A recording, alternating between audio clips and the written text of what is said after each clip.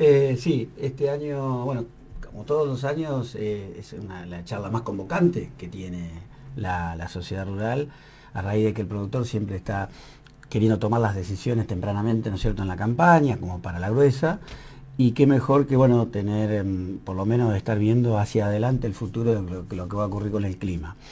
Eh, este año lo hacemos con gente de Santa Fe, con Pablo, Pablo Lucero. Nos gustó cambiar y también un pedido de la gente también, ¿no es cierto? Como para, y qué mejor que sea de algo más, alguien más cercano, ¿no? Así que, bueno, eh, como siempre la, auspicia Claudio Mil con, este, con su socio, con la cerealera que tienen en, San Carlos Sur, que es San Carlos Cereales. Y, bueno, desde luego que este año pusimos eh, un poquito de énfasis ya eh, en el cuidado del medio ambiente, como lo veníamos diciendo en otras oportunidades. Eh, queremos desde la institución concientizar a, los productores en, lo que es la plantación de árboles y demás. Y qué mejor que se nos ocurrió llamarlos a, a los chicos de la Fundación de un Árbol Más, que, hagan una introducción antes de que Pablo haga su, su, presentación y estos chicos van a estar eh, exponiendo cuál es el trabajo que tienen, de aquí en más, para lo que va del camino que están recorriendo. Y, a nosotros nos parecía que como es la, la reunión más convocante, era donde ellos más iban a poder tratar de llegar a los productores. Eso no está puesto en el flyer, y, bueno, se nos ocurrió que era una, una, buena, eh, una buena idea. Roberto, eh, para aquellos que nos están escuchando, productores y que tienen acceso a diario a lo que son los pronósticos del clima, porque hoy con la tecnología uno puede mirar, ¿qué, qué puede aportar una charla donde uno también tiene la posibilidad de preguntar? Sí, normalmente las preguntas que surgen son a largo plazo, porque lo que estamos viendo nosotros en los pronósticos que tenemos en cualquier dispositivo o aplicación eh, son los de la semana, que son los más certeros y los que no le van a errar. Cuando uno plantea una estrategia de campaña o de siembra, estamos tratando de ver qué es lo que va a ocurrir, que es muy difícil pegarla, ¿no? pero de, de acá a tres o a seis meses, de qué manera se va a comportar el clima. Hoy tenemos, eh, bueno, hay distintos eh, valores que se van tomando de, mm, supongo, de distinta información que van teniendo ellos mismos y lo vuelcan eh, a distintos, supongo que son modelos. modelos. me, costaba la, palabra modelo, vos lo dijiste. Son distintos modelos y, y después van confluyendo en una información que, que rara vez este, eh, no, no, no es que no coincidan, todos coinciden en la mayoría de cómo va a ser. Pero bueno, no es lo mismo que interactuar ahí eh, en un ida y vuelta, hacerle consultas, sobre todo cuando van a ser las últimas heladas de la campaña, cuando se despide el invierno, cuando... Eh, y de esa manera después, no es algo matemático, estamos hablando de, de que va a ser algo variable, ¿no? Pero bueno, por lo menos es lo que el productor quiere mirar a futuro, a ver qué es lo que se va a desarrollar. El año pasado nos dijeron, che, mira, va a venir una sequía, va a ser complejo, hagan estrategias defensivas para la explotación. Y bueno, de hecho, pero no sabíamos que iba a ser tan, tan este, tan grave la sequía, pero bueno, no es que no lo hayan dicho. ¿no? La charla, Roberto, es, es abierta, además de productores, puede ir gente, por ejemplo, que tenga huerta o que quiera saber o porque le interesa el clima. Sí, sí, sí, es gratuita, abierto a todo público.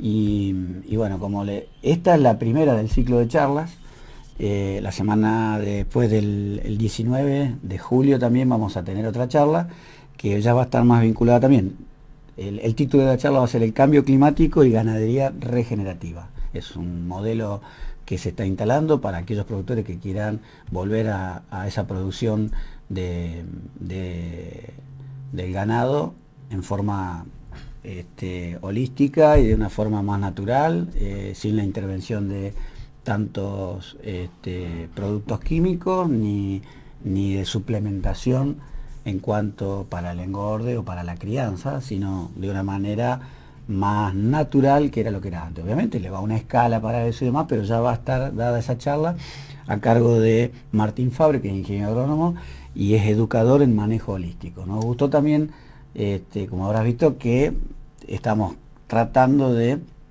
ofrecer en la, paleta de charlas que tenemos eh, las oportunidades también para aquellos que quieran tener una mirada un poquito más en lo verde y, trabajar de esa forma para el futuro, que es una demanda sostenida que va teniendo la, la sociedad hacia el sector. ¿no? Por último, con los avances tecnológicos en lo que tiene que ver con eh, el pronóstico, con, la previsibilidad, eh, ¿se puede ahorrar dinero, o sea, evitar eh, una, una, mala decisión a la hora de, sembrar o, realizar alguna actividad en el campo? ¿Cómo era antes cuando no había por ahí tanta, tanta tecnología? ¿Se metía la pata, digamos? A ver, el hecho de, sembrar en cultivos anuales eh, es como ir al casino, vos vas y apostas. Y bueno, eh, hoy esa herramienta que te está dando el pronóstico, lo que está buscando es tener una, eh, tratar de, errar lo menos posible, ser lo más certero en la decisión.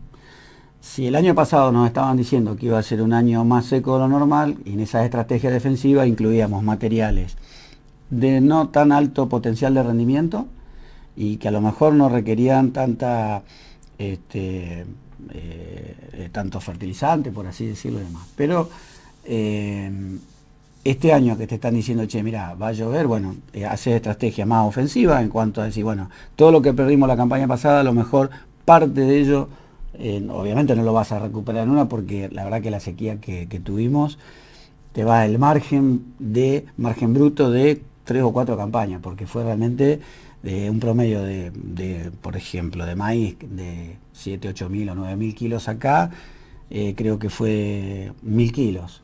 Y, en soja, que normalmente estábamos entre 27 y 35 quintales, o sea, entre 2.700 y 3.500 kilos, este año creo que el promedio nos llega a 800 kilos o 1.000 kilos. Un desastre. y las cuentas quedaron muy para atrás. Y bueno, eh, obviamente para ello vos tenías que venir con con caja para poder dar la vuelta y bueno, y si no, tomar préstamos para hacerle frente a los, eh, a los compromisos, tanto sea de insumos, alquileres o lo que fuera. Eh, el gobierno trató de acompañar, intentó, pero no, el gobierno de la provincia, ¿no? Y, pero, no, fue muy poca la ayuda, muy poca, no fue suficiente y bueno, eh, ellos también te lo dicen. Y a nivel nacional, bueno, ahí participan algunos impuestos nacionales que vamos a poder posponer, ¿no? Eh, para esas declaraciones juradas de ganancia, todo ese tipo de cosas que, eh, que obviamente impactan ahora negativamente porque está declarando lo que transcurrió la campaña pasada en el 22, que fue buena, eh, más o menos como, como años anteriores, y en esta que estamos transitando vos tenés que pagar los impuestos que, que, no vas a tener ese dinero. Sí, es complicado. así que bueno. Pero, bueno, está toda puesta la, la, esperanza en, en, estos próximos meses. En estos próximos meses.